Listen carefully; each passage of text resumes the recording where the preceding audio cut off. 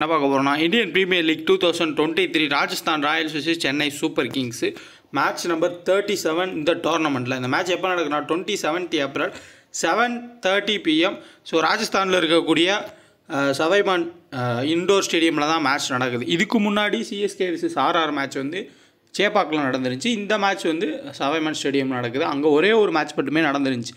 அது என்ன மேட்ச்னா LSG விசிஸ் RR தான் வந்து ஆடிருந்தாங்க அதுக்கு முன்னாடி கவுகாத்தியில் தான் ஆர்ஆருக்கு ஹோம் கிரவுண்டாக இருந்துச்சு. அங்கே ஒரு ரெண்டு மூணு மேட்சஸ் வந்து ஆடிருந்தாங்க ஸோ ஓவரால் அந்த ஒரு மேட்ச் வச்சு பார்க்குறப்போ கொஞ்சம் ஒரு டஃபஸ்ட்டு கண்டிஷன் மாதிரி தான் இருந்துச்சு பேட்டர்ஸ்க்கு ரொட்டேட் பண்ணி தான் பேட்டர்ஸ்னால் ஆட முடிஞ்சு மீடியம் ஃபேஸர்ஸ்க்கு அதிகமான ஹெல்ப்பும் கட்டர்ஸ் போடக்கூடிய பவுலர்ஸுக்கும் ஹெல்ப் பண்ணுறது அதிகமாக கிடச்சிருந்துச்சு. நூற்றி நாற்பது ரன் அடிச்சுமே அதை சேஸ் பண்ண முடியலை. ஸோ லூஸ் பண்ணாங்க ராஜஸ்தான். சஞ்சீவ் சாம்சனே சொல்லியிருந்தார். ஸோ அந்த மேட்ச்சில் அந்த கிரவுண்டில் நடந்த மேட்ச்சில் எப்படி நாங்கள் லாஸ் பண்ணோன்றது எங்களுக்கே தெரியலன்னு. அந்த அளவுக்கு கண்டிஷன் வந்து பவுலர்ஸ்க்கு ஃபேவராக இருந்த ஒரு கண்டிஷன் தான். ஸோ பார்க்கலாம். கரெக்டான டெலகிராமாக ஜாயின் பண்ணிக்கோங்க. ஒரிஜினல் சேனல் இதுன்ற செக் பண்ணி ஜாயின் பண்ணுங்கள் லீடர் போர்டுக்கான டீம்ஸ் கொடுத்துட்ருக்கோம் ஒரு அஞ்சுலேருந்து ஆறு டீம்ஸ் அதை கூட ட்ரை பண்ணி பாருங்கள் ஸ்மால் லீக் டீம்ஸ் ஓன் டீமை மேக் பண்ணுங்கள் நம்ம கொடுக்குற டீமை ஜஸ்ட்டு ஒரு மாடலாக எடுத்துக்கோங்க. ஓன்லி ஃப்ரீ டீம்ஸ் மட்டுமே நம்ம கொடுத்துட்ருக்கோம் எந்த ஒரு பெய்டு டீம்ஸுமே நம்ம பண்ணுறதில்ல நம்ம நேமை யூஸ் பண்ணி யாராச்சும் அமௌண்ட்டு கேட்டால் கொடுக்காதீங்க. ஓன்லி ஃப்ரீ டீம்ஸ் மட்டுமே. அதேமாதிரி இந்த ஆப்ஸில் இன்ஸ்டால் பண்ணிக்கோங்க. டெலகிராமுக்குள்ளே கொடுக்குற டீமுக்கான வின்னிங்ஸ் தான் நம்ம போடுறோம். அதை பார்த்தாலே உங்களுக்கும் தெரியும். ஃபுல் ஸ்டாட்ஸ் அனலைஸை ஃபாலோ பண்ணுங்கள் நல்ல டீம்ஸை க்ரியேட் பண்ணுங்கள் நல்லா ஒர்க் ஆகிட்டுருக்கு ஸ்டாட்ஸ் அனலைஸு அதை வந்து கரெக்டாக ஃபாலோ பண்ணிக்கோங்க.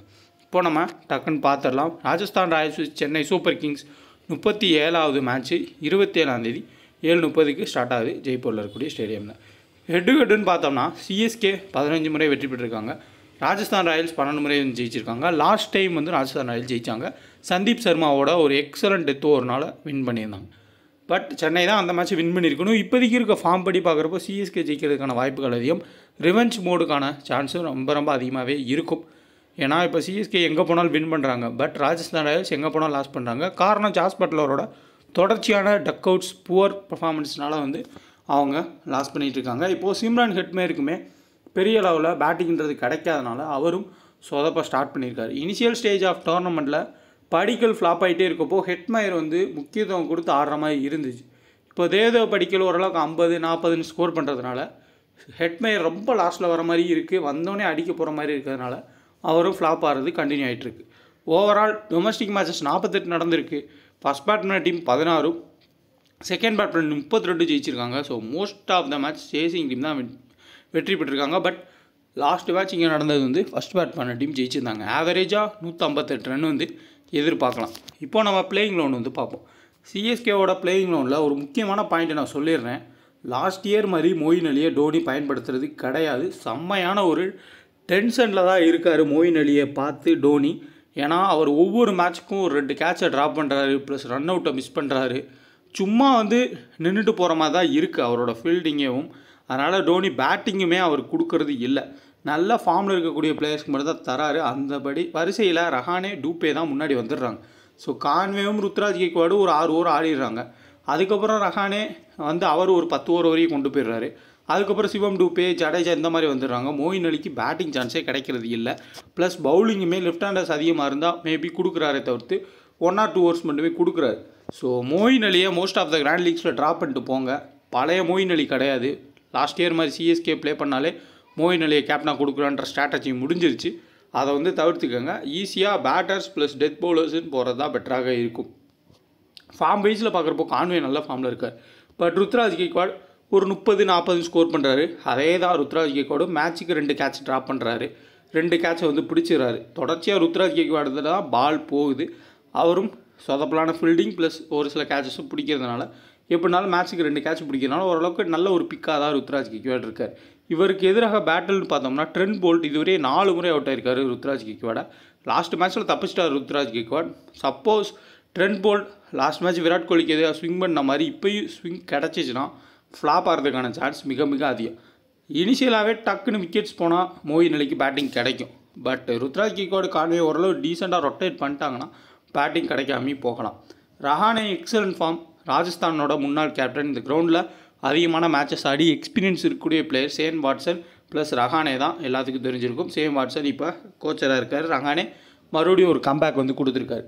சிவம் டூப்பே பொறுத்தவரையே சின்ன சின்ன கிரவுண்ட்ஸில் நல்லா ஸ்கோர் பண்ணுவார். பட் இந்த கிரவுண்டில் ஸ்கோர் பண்ணுறதுக்கான வாய்ப்புகள் மிக மிக கம்மி.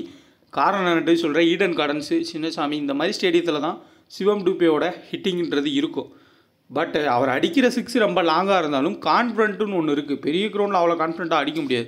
சின்ன கிரவுண்டில் கான்ஃபிடண்ட்டாக அடிக்கிறப்போ பால் போயிடுது இந்த சைடில் excellent ஸ்பின்னர்ஸான Ravichandra Ashwin Adam Zampa next Sandeep Sharma Trent Boult செகல்னு தரமான பவுல் பவுலர்ஸ் வந்து இருக்கிறதுனால கண்டிப்பாக சிவம் டூப்பே அடிக்கிறதுக்கான வாய்ப்புகள் மிக மிக கம்மியாக தான் இருக்கும் இந்த மேட்ச்சில் ஸோ இந்த மேட்சை பொறுத்தவரை சிவம் டூப்பே ஃப்ளாப் ஆகிறதுக்கான சான்ஸ் அதிகம்.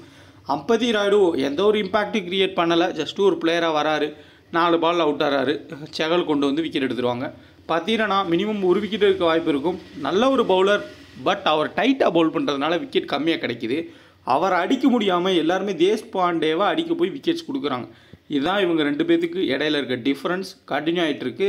பாண்டேவோட ஒரு டேர்ன்னே சொல்லலாம். ஒரு சப்ஸ்டியூட் பிளேயராகவே இருந்த ஒரு பிளேயர் கடைசியில் சென்னையில் வந்து சான்ஸ் கிடச்சி ரன்ஸ் அதிகமாக கொடுத்தாலும் விக்கெட்ஸ் எடுத்து கொண்டு போயிட்டுருக்காரு. சேம் ஆகாஷ் இவர்னாலே விக்கெட் எடுக்க முடியாது. பட் தேஷ்பாண்டே விக்கெட் எடுக்கான வாய்ப்புகள் அதிகம். சேம் தீக்ஸனா விக்கெட் எடுக்கான சான்ஸ் அதிகம். ரவீந்தர் ஜடேஜா. பத்திரனா ஆகாஷ் சிங் வந்து டைட் பவுலிங் போடுறாங்க. இவங்க விக்கெட் எடுக்கிறாங்க. இதே கான்செப்ட் தான் போயிட்டு இருக்குது ஓவரால் இதில் பெஸ்ட்டு கேப்டன்ஸ் கேப்டன் சாய்ஸ்னால் கான்வே ஃபிஃப்த்து ஃபிஃப்டி ஸ்கோர் பண்ண வரான்னு வெயிட் பண்ணி பார்ப்போம். ஜடேஜாவை நல்ல ஆப்ஷன் இந்த கிரவுண்டில் நல்லா ரெக்கார்ட்ஸ் வச்சுருக்காரு. ப்ளஸ் ரீசன்ட் ஃபார்மே மினிமம் ரெண்டு விக்கெட் எடுத்துகிட்டு இருக்காரு இந்த சைடு இருக்க பேட்டர்ஸுமே ஜடேஜா பவுலிங்க்கு ஸ்ட்ரகிள் ஆகிறதுக்கு வாய்ப்பு அதிகம். காரணம் என்னென்னா ஓரளவுக்கு இவங்க ரொட்டேட் பண்ணி ஆடிட்டால் கூட மிடில் ஹிட் பண்ணுறதுப்ப ஜடேஜா பவுலிங் பண்ணிடுறாரு. அப்போ கரெக்டாக ஜடேஜாவுக்கு வந்து விக்கெட்டுன்றது கிடச்சிருது. ஸோ தேஷ்பாண்டே ஃபஸ்ட் பால் பண்ணாலும் செகண்ட் பால் பண்ணாலும் எடுங்க. ரிஸ்க் எடுக்கிறவங்க பத்தினாவை கட் பண்ணிக்கோங்க. ஃபஸ்ட் பால் பண்ண மட்டும் ட்ரை பண்ணுங்கள் ஜடேஜாவை ஃபஸ்ட்டாக செகண்ட் எடுத்துக்கோங்க. தீக்ஸ்னா ஃபஸ்ட்டாக செகண்ட் பிக் பண்ணிக்கோங்க. ரஹானே சேம் மோயின் அலி உங்களோட மைண்ட் செட்டுக்கு ஏற்ற மாதிரி எடுங்க. சப்போஸ் இனிஷியலாக விக்கெட் வேகமாக போகும் மோயின் அலி பேட்டிங் வருவான்னு தோணுச்சுன்னா எடுத்துக்கோங்க. அப்படி இல்லாட்டி மோயின் அலியை ட்ராப் பண்ணுங்கள் இன்னொருனையும் சொல்லிடுறேன் Jaiswal Dev Padikkal Hetmyer left handers இருந்தால் கண்டிப்பாக மோயின் அலிக்கு ஒரு ரெண்டு ஓவராது தோனி கொடுக்கறதுக்கான சான்ஸ் வந்து இருக்கும். அந்த ஆங்கிள் வச்சோம்னா ஒரு சேஃபஸ்ட் பிக் தான் Moeen Ali. But captain vice captain கொடுக்குற அளவுக்கு சேஃபஸ்ட் பிக்கான்னு கேட்டிங்கன்னா கொஞ்சம் ரிஸ்க் தான். ஆர்ஆரோட பிளேயிங் ஒன்று பார்ப்போம். ஜேஸ்வால் இந்த க்ரௌண்டில் நல்லா ஆனார். ரீசெண்ட் மேட்சஸ் எல்லாமே சூப்பராக ஆடிட்டுருக்காரு ஜேஸ்வாலை பொறுத்தவரையும் கொஞ்சம் ஸ்விங் பவுலர்ஸ் போட்டால் விக்கெட் எடுக்கான வாய்ப்புகள் இருக்கும். எக்ஸலண்ட் ஃபீல்டர் ஜேஸ்வால் அவருக்கு எந்த கேட்ச் கிடைச்சாலுமே அதை பிடிச்சிடறாரு. மேட்ச்சுக்கு ரெண்டு கேட்ச் ஒரு ரன் அவுட் அடிக்கிறாரு. அதுலேயே பாயிண்ட் கிடைக்குது.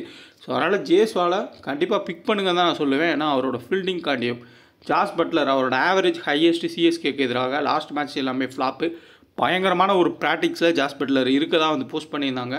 இந்த மேட்ச் எதிர்பார்க்கலாம். ஒரு பெரிய இன்னிங்ஸ் ஆடுவார்னு. சஞ்சீவ் சாம்சனு அப்படியே போக போக டவுன் ஆகிட்டே இருக்குது ப்ளஸ் சிஎஸ்கேக்கு எதிராக அவரோட ஸ்டாட்ஸ் வந்து ரொம்ப போராக இருக்குது படிக்கல் மேலே வரதுனால ஓரளவுக்கு படிக்கல் முப்பது ரன் ஆட் ஆகும் சஞ்சீவ் சாம்சன் வந்தோடனே ஸ்கோர் பண்ணுற மாதிரி இருக்குது அது வந்து அவருக்கு செட் ஆகலை. சஞ்சீவ் சாம்சன் ஒன் ஒன்று வரது தான் என்ன பொறுத்தவரையே பெட்டர் சிம்ரன் ஹெட்மேர் டாப் ஆர்டரில் ஜெய்ஸ்வாலை கட் பண்ணால் ஹெட்மேர் வந்து எடுத்துக்கோங்க. அதே மாதிரி ஜூரைல் ரொம்ப ரிஸ்கியஸ்ட் பிக்கு அந்த அளவுக்கு வந்து ஈஸியாக ரன்ஸ் வந்து கொடுக்க மாட்டாங்க. அவரை பொறுத்தவரையும் பத்து பாலுக்கு முப்பது அடித்தா போதுன்ற மாதிரி தான் ஆடுறாரு. எப்படி ஆடுவார்னு பார்ப்போம். But Jason Holder Adam Zampa ரெண்டு பேருமே ரிஸ்கஸ்ட் பிக் தான். ஜேசன் ஹோல்டர் சுத்தமாக அவருக்கு பேட்டிங் எதுவுமே கொடுக்க மாட்டாங்க அதே மாதிரி பவுலிங் வந்தாலும் அவரால் விக்கெட்டுன்றது எடுக்க முடியல. அந்த விக்கெட்டிங் ரிதம்ன்றது போயிடுச்சு அஸ்வின் ட்ரெண்ட் போல்டு செகல் சந்தீப் சர்மா இதில் சந்தீப் சர்மா டெத்தில் போடுறாரு ஸோ அவர் தான் இந்த சீசன் ஃபுல்லாமே டெத்தில் போடுவார். அதனால் கண்டிப்பாக கேப்டன் வைஸ் கேப்டன் கொடுக்கலாம். பிளேயராகவும் நம்ம வந்து பிக் பண்ணிக்கலாம். நல்லாவே பர்ஃபார்மன்ஸ் கொடுக்குறாரு. ஃபஸ்ட்டு பால் பண்ணால் செகண்ட் பால் பண்ணால் கூட ட்ராப் பண்ணிக்கோங்க. பட் டெத்தில் போடுறதுனால இம்பார்ட்டன்ட் ட்ரெண்ட் போல் இனிஷியலாக விக்கெட் எடுக்கிறாரு. சப்போஸ் முகமது ஷமி மாதிரி ட்ரெண்ட் போல் இனிஷியலாக விக்கெட் எடுக்கலனா ஜீரோ விக்கெட்ஸில் போகிறதுக்கும் வாய்ப்புன்றது இருக்குது ஸோ பார்க்கலாம் அந்த கிரவுண்டில் பட் மீடியம் ஃபேஸஸ்க்கு நல்ல ஹெல்ப் கிடச்சிருக்கு. செகண்ட் பவுல் பண்ணுறப்பையும் மீடியம் ஃபேஸஸ்க்கு நல்ல ஹெல்ப்ன்றது கிடச்சிருக்கு. அதனால் செகண்ட் பவுல் பண்ணுற டீமோட மீடியம் ஃபேஸஸை ட்ரா பண்ணிட்டு போகாமல் பிக் பண்ணிட்டு போங்க. ஓவரால் பார்த்தோம்னா பெஸ்ட் கேப்டன்ஸ் கேப்டன் சைஸில் கான்வே ஜாஸ் பட்லர். ஸோ ரெண்டு பேர் வந்து டீசெண்டான கேப்டன் வைஸ் கேப்டன் ரிஸ்கியஸ்ட் ஆப்ஷன்ஸில் ஜடேஜா தேஷ்பாண்டே இந்த சைடில் அஸ்வின். ஸோ இவங்கெல்லாம் வந்து ரிஸ்கியஸ்ட் ஆப்ஷன் மற்ற பிளேயர்ஸ்க்குள்ளே நீங்கள் மாற்றி மாற்றி கேப்டன் வைஸ் கேப்டன் கொடுத்துக்கோங்க. ரஹானே கூட ஒரு நல்ல ஆப்ஷன் தான். அவர் குயிக்காக வந்து ஸ்கோர் பண்ணுறாரு ஸோ கிராண்ட் லீக்கில் ட்ரை பண்ணுங்கள் இந்த எக்ஸ்பீரியன்ஸ் அதிகமாக இருக்கக்கூடிய இந்த கிரவுண்டில் எக்ஸ்பீரியன்ஸும் அதிகமாக இருக்கக்கூடிய ஒரு பிளேயர்னா அது ரஹானே தான். அதே மாதிரி பேட் பால் ஒன்று அப்போ இன்ஸ்டால் பண்ண இன்ஸ்டால் பண்ணிங்க டூ ஹண்ட்ரட் பர்சன்ட் போனஸ் கிடைக்குது ஐபிஎல் ஃபுல்லாகவே டூ கே டெக்கெட் ரெஃபர் கூட பயன்படுத்திங்க லீடர் போர்டு எல்லாமே அதிகமாக ப்ரைஸ் பேக் கொடுக்குறோம் ஸ்மால் லீக்கு பெஸ்ட்டான ஒரு ஆப் இப்போ பிளேயர் ஸ்டார்ட் வந்து ஸ்லோவாகவே சொல்கிறேன் பாருங்கள் வென்யூவில் ஜாஸ் பட்லரோட ஆவரேஜ் எழுபத்தி சாரி ஐம்பத்தி ரெண்டு பதினோரு இன்னிங்ஸில் ப்ளஸ் ஜாஸ் பட்லரோட ஆவரேஜ் ஹெட் டு ஹெட்டில் ஐம்பத்தி மூணு நான் மாற்றி கொடுத்துருக்கேன். ஹெட் டு ஹெட் வந்து ஜாஸ் பட்லரோடது ஸோ ஃபிஃப்டி த்ரீ ஃபிஃப்டி டூன்ற மாதிரி இருக்குது ஒரு ஹையஸ்ட்டு ஆவரேஜ் வச்சுருக்காரு. சேசிங் வரப்போ தான் கொஞ்சம் சொதப்புற மாதிரி தெரியுது. ஃபஸ்ட் பார்ட் பண்ணால் ஜாஸ் பட்லர் நல்லாவே ஸ்கோர் பண்ணுறதுக்கு வாய்ப்புகள் இருக்கும். ஜேஸ்வாலோட ஆவரேஜ் பார்த்தோம்னா வென்யூவில் நாற்பத்தி நாலும் ஹெட் ஹெட்டில் முப்பத்தி ஒன்று இருக்குது டீசென்ட் பிக்கு தான். ஒரு ரெண்டு கேச்சஸ் அது பிடிச்சிடுறாரு. படிக்கல் ஒரு மேட்ச்சில் வென்யூவில் இருபத்தி ஆறும் ஹெட் ஹெட்டில் முப்பத்தி மூணும் சஞ்சீவ் சாம்சன் இருபத்தெட்டு வென்யூவில் ஹெட் டு ஹெட்டில் வெறும் பதினாலு ரன் தான். லாஸ்ட் மேட்ச்சுமே eh, வந்து ஃப்ளாப் ஆயிருப்பார். ரீசன்ட் ஃபார்மில் பட்லர் ரெண்டு டைம் டக் அவுட் ஆயிருக்கார். ஸோ சஞ்சீவ் சாம்சன் ஒரு மேட்ச் அறுபது அடுத்த மேட்ச் ரெண்டு மேட்ச் வந்து சரியா அளவில் பெர்ஃபார்மன்ஸ் பண்ணல. அது காரணம் படிக்கல் நல்ல ஃபார்முக்கு வந்தது. ஹெட்மயர் வென்யூவில் மூன்று ரன்னும் முப்பத்தி மூணும் ரீசன்ட் ரெண்டு மேட்ச் நல்லா பெர்ஃபார்ம் பண்ணல. அதுக்கு காரணம் படிக்கல் நல்லா ஆடினது தான் ஒரு காரணமாக இருக்குது ஜொரேல் ஹெட்விட்டில் நாலு ரனும் ரீசன்ட் ஃபார்மும் வந்து அருமையாக இருந்திருக்கு. ஸோ இதில் ஓவரால் பார்க்குறப்போ பட்லரோட ஆவரேஜ் ரொம்ப ஹையாக இருக்குது ஜேஸ்வாலோட ஆவரேஜும் நல்லா இருக்குது படிக்கலுக்கும் பெட்டராக இருக்குது பட் சஞ்சீவ் சாம்சன் தான் ஒரு டவுட்டாக இருக்குது சிஎஸ்கே கூட ஆடுறப்ப எப்பயுமே சஞ்சீவ் சாம்சன் பெர்ஃபார்மன்ஸே கொடுத்ததில்ல. தொடர்ச்சியான ஃப்ளாப் பண்ணுறதா கொடுப்பாரு. ஹெட்மயர் படிக்கல் அவுட் ஆனால் நல்ல ஒரு பெர்ஃபார்மன்ஸ் கொடுக்கலாம். கொஞ்சம் ஏர்லியாக பேட்டிங் கிடைக்கிறப்போ. அப்படி இல்லாட்டி அவரும் ஃப்ளாப் ஆகிறதுக்கான வாய்ப்புகள் இருக்குது அஸ்வின் ஸோ ஆறு விக்கெட் எடுத்திருக்காரு வென்யூவில் அதே மாதிரி ஹெட் டு ஹெட்டில் பார்த்தோம்னா இருபத்தி ஒரு விக்கெட் சாரி இருபத்தொரு ரன் ஆவரேஜ் பதினோரு விக்கெட்டும் ரீசன்ட் ஃபார்ம் நல்லா இருக்குது மினிமம் ஒரு விக்கெட் எடுக்கிறாரு. கண்டிப்பாக நிறைய லெஃப்ட் ஹேண்டர் சிஎஸ்கே சைடு இருக்கிறதுனால அஸ்வின் ஒரு கீ பிக்காக இருப்பார். சென்னையில் நடந்த மேட்ச்லேயும் பார்த்துருப்பீங்க. அஸ்வின் தான் முப்பது ரன்னுக்கு மேலே ஸ்கோரும் பண்ணி ரெண்டு விக்கெட் ப்ளஸ்ன்னு எடுத்து கொடுத்துருந்தார். ஹோல்டரோட ஆவரேஜ் தான். ஸோ ட்ரெண்ட் போல்ட் வென்யூவில் ரெண்டு விக்கெட் தான் எடுத்திருக்காரு. ஹெட் விக்கெட்டில் பதிமூணு விக்கெட்டு ரீசன்ட் ஃபார்ம் தொடர்ச்சியாக விக்கெட் எடுத்துட்டுருக்காரு. சந்தீப் சர்மா வென்யூவில் ரெண்டு விக்கெட்டும் ஹெட் விக்கெட்டில் பன்னெண்டு விக்கெட்டும் ரீசன்ட் ஃபார்ம் தொடர்ச்சியாக அவரும் விக்கெட் எடுத்திருக்காரு. செகல் மினிமம் ஒரு விக்கெட் தான் எடுக்கிறார். ஸோ செகலுக்கு அதுக்கு மேலே விக்கெட்ன்றது கிடைக்கல. போக போக லெக் ஸ்பின்னர்ஸ் வந்து கம்மியான விக்கெட்ஸ் வந்து எடுத்துகிட்டு இருக்காங்க அதுவும் வந்து நம்ம பார்த்துட்டு தான் இருக்கோம். இப்போது நம்ம சிஎஸ்கே பிளேயர்ஸோட ஸ்டார்ட்ஸ் பார்ப்போம். வென்யூவில் முப்பது ரன் ஆவரேஜ் ருத்ராஜ் கேக்வாடு நாற்பத்தி ஒரு ரன் ஆவரேஜ் ஹெட் டு ஹெட்டில் ரெண்டுமே டீசெண்டாக இருக்குது ட்ரெண்ட் போல்ட்டை தப்பிச்சிட்டா ஒரு எழுபது ப்ளஸ் போகிறதுக்கு வாய்ப்புகள் இருக்கும். கான்வே ஸோ ரெண்டு இன்னிங்ஸில் அறுபத்தி ஆறும். ஸோ ஹெட் டு ஹெட்டில் எட்டு ரன் தான். லாஸ்ட் மேட்ச் கொஞ்சம் ஏர்லியாகவே வந்து அதுக்கு முன்னாடி ஒரு மேட்ச்சில் வந்து அவுட் ஆகியிருந்தார் ஸோ அதை வந்து நோட் பண்ணிக்கோங்க. ஸோ ரஹானே வெ வென்யூவில் வந்து நாற்பத்தி ஒரு ரன் ஆவரேஜும் ஹெட் டு ஹெட்டில் நாலு மேட்ச்சில் நாற்பத்தி நாலு புவராக இருக்குது ஸோ கான்வேவோட ஹெட் டு ஹெட் ஆவரேஜ் நான் வந்து தப்பாக கொடுத்துருக்க மாதிரி எனக்கு தெரியுது. ஏன்னா கான்வே லாஸ்ட் டைம் ராஜஸ்தான் கூட ஆடுறப்போ ஒரு ஃபிஃப்டி அடிச்சிருந்தாருன்னு தான் தோணுது. ஸோ அதை கொஞ்சம் செக் பண்ணிக்கங்க. எனக்கு தெரிஞ்ச வரையே ருத்ராஜ் தான் வந்து கொஞ்சம் ஏர்லி அவுட் ஆன மாதிரி ஃபீல் ஆகுது. சிவம் டூபே ஸோ டீப் டூபே பொறுத்தவரை பெரிய லெவல் ஆவரேஜ் இல்லை. ஹெட் டு ஹெட்லையுமே பெரிய லெவல் ஆவரேஜ்னு சொல்ல முடியாது. பட் மோயின் அலியோட ஆவரேஜ் ரெண்டு மேட்ச்சில் பத்தொம்போதும் ஸோ ஹெட் டு ஹெட்டில் மோயின் அலி ஆவரேஜ் முப்பத்தி மூணு இருக்குது ப்ளஸ் அஞ்சு விக்கெட் எடுத்திருக்காரு. ட்ரை பண்ணி பாருங்கள் ஓவர்ஸ் கொடுத்து பேட்டிங் முன்னாடி கிடச்சா நல்ல ஆப்ஷன் ரவீந்திர ஜடேஜா ஆவரேஜாக முப்பத்தி ஒன்றும் அஞ்சு விக்கெட் வந்து எடுத்திருக்காரு. வென்யூவில் நல்ல ஒரு பர்ஃபார்மன்ஸு ஸோ ஓவரால் பதினஞ்சு இன்னிங்ஸில் இரநூத்தி பத்தொம்பது ரன்னும் இருபது விக்கெட் எடுத்திருக்காரு. ரீசன்ட் ஃபார்ம் தொடர்ச்சியாக விக்கெட் எடுக்கிறாரு. கடைசி ஆர் ராஜஸ்தான் கூட ஆடுறப்பயுமே ரவீந்திர ஜடேஜா ரெண்டு விக்கெட்ன்றது எடுத்திருந்தார். ப்ளஸ் பேட்டிங்குமே வந்து ஆடினதுனால ஒரு பெட்டர் ஆல்ரவுண்டர் பெட்டர் பிக்கும் கூட ரவீந்திர ஜடேஜா. ஸோ அந்த முன்னாடி கான்வேவோட ஸ்டாட்ஸ் வந்து கொஞ்சம் செக் பண்ணிக்கோங்க. இல்லை நான் டெலகிராமில் வந்து அப்டேட் பண்ணிடுறேன். எம்எஸ் டோனி ஹெட்வேர்டில் முப்பத்தொம்பது ரன் ஆவரேஜும் வெனியூவில் இருபத்தொம்பது ரன் ஆவரேஜும் தீக்ஷனா லாஸ்ட் மேட்ச் ரெண்டு விக்கெட் எடுத்தார். முடிஞ்ச அளவுக்கு ஒரு ஒரு விக்கெட்டுன்ற மாதிரி எடுக்கிறார். தேஷ்பாண்டே ஹெட்வேர்டில் நாலு விக்கெட் எடுத்திருக்காரு. ரீசன்ட் ஃபார்ம் தொடர்ச்சியாக விக்கெட்டு பத்திரனாவை பொறுத்தவரையா டைட் பவுலிங் அதனால் மினிமம் ஒரு விக்கெட் தான் கிடைக்கிது. அவர் முடிஞ்ச அளவுக்கு டாட் பால்ஸ் போட்டு போகிறதுக்கான வாய்ப்புகள் தான் அதிகமாக இருக்கும். இந்த விஷயம் நான் பென் ஷாப் நான் இன்ஸ்டால் பண்ணிக்கோங்க. டிஸ்கிரிப்ஷன் லிங்க் இருக்குது உங்களுக்கு லீடர் போர்ட்ஸ் வந்து கொடுத்துட்ருக்காங்க. சொட்டோகே இருக்குன்னு ரெஃபர் கூட பயன்படுத்திக்கோங்க. ஸ்மால் லீக்கும் ஓரளவுக்கு டீசெண்டான பெட்டர் ஆப்பாகவும் இருக்கும். இப்போது நம்ம டீம்ஸ் வந்து பார்ப்போம். நீங்கள் இன்னும் ஃபிபரா ஃபேண்டசி ஆப் இன்ஸ்டால் பண்ணி இன்ஸ்டால் பண்ணிக்கோங்க. ஜஸ்ட் ஒரு பிளேயரை நீங்கள் செலக்ட் பண்ணி ப்ளே பண்ணால் போதும். கிளாசிக் ஆப்ஷன் இருக்குது டியோ ஆப்ஷன் இருக்குது குவிண்டோ ஆப்ஷன் இருக்குது அஞ்சு பிளேயரில் ஒரு பிளேயர் மட்டும் நீங்கள் செலக்ட் பண்ணாலே போதுமானதாக இருக்கும்.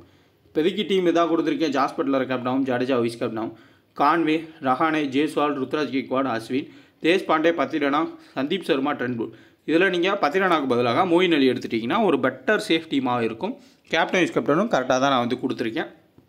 அதுக்கு மேலே நீங்கள் பத்திரனாக்கு பதிலாக மோயின் அலி எடுக்கிறப்போ இன்னுமே சேஃபஸ்ட்டு டீமாக மாறும். இதில் நீங்கள் மாற்றி மாற்றி கூட ரஹானே கான்வேன்னு கூட கொடுத்துக்கலாம். அதே மாதிரி உங்களோட கிராண்ட் லீக் டீம்ஸ் மேக் பண்ணுறப்போ எந்த டீம் ஜெயிக்குன்றதை கொஞ்சம் கெஸ் பண்ணி அந்த ஜெயிக்கிற டீமுக்கு ஃபேவராக டீம்ஸை செட் பண்ணி பாருங்கள் ஏன்னா அப்படி தான் இப்போ ரீசெண்ட் டைம்ஸில் எல்லோரும் வின் பண்ணிகிட்டு இருக்காங்க. ஃபஸ்ட் ப்ரைஸ் அதுக்காண்டி தான் சொல்கிறேன் ட்ரை பண்ணி பாருங்கள் அந்த ஸ்ட்ராட்டஜியை சப்போஸ் இப்போ சிஎஸ்கே ஃபஸ்ட் பேட் பண்ணுறாங்க ஒரு மூணு டாப் ஆர்டர் தான் பேட்டிங் வருவாங்க.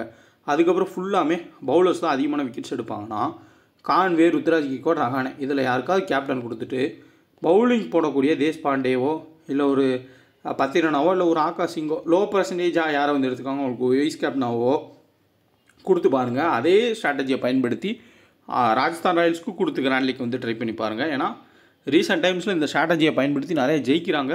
அதுக்காண்டி தான் சொல்கிறேன் டென் ஒன் காம்பினேஷன் கிடையாது.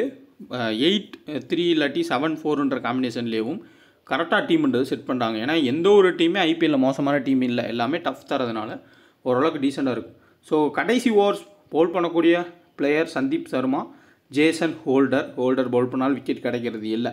இந்த சைடில் கடைசி ஓவர் பவுல் பண்ண போகிறது தேஷ்பாண்டே தான் பவுல் பண்ணுவார். பத்து கம்பெயின் பண்ணிப்பார் ஸோ இவங்க தான் death bowlers middle left hander off spinner ஸ்ட்ராட்டஜியில் Moeen Ali ஒரு லெஃப்ட்டு கான்வே ஒரு லெஃப்ட்டு சிவம் டூப்பே ஒரு லெஃப்ட்டு ரவீந்திர ஜடேஜா ஒரு லெஃப்ட் ஹேண்டர் அப்போ அஸ்வின் தான் வந்து ஒரே கண்டிப்பாக அஸ்வின் ஒரு விக்கெட்டாவது எடுத்துருவார்.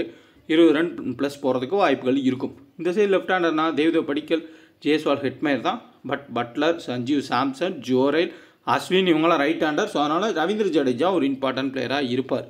ஸோ செகலோட விக்கெட் டேக்கிங் ரிதம்ன்றது குறைவாக இருக்குது ஸோ எந்த மாதிரி பெர்ஃபார்ம் பண்ண போகிறான்றது தெரியல. சேஃபஸ்ட் ஆப்ஷனாக ட்ரை பண்ணுறவங்க நல்ல ஃபார்மில் இருக்கக்கூடிய கான்வே ருத்ராஜ் கேக்வாட் பட்லர் ரவி ரவிச்சந்திர அஸ்வின் ரவீந்திர ஜடேஜாவை ட்ரை பண்ணுங்கள் ரிஸ்கியஸ்ட் ஆப்ஷன் எடுக்கிறவங்க லோவாக போகும். பேட்டர்ஸுக்கு ஹெல்ப் கிடைக்காதுன்னு நினச்சாங்கன்னா பவுலர்ஸ் அதிகமாக எடுத்துகிட்டு கூட பவுலர்ஸ்குள்ளே கேப்டன் வைஸ் கேப்டன் கொடுங்க. அப்போ சந்தீப் சர்மா கூட ஒரு நல்ல ஆப்ஷன் தான்.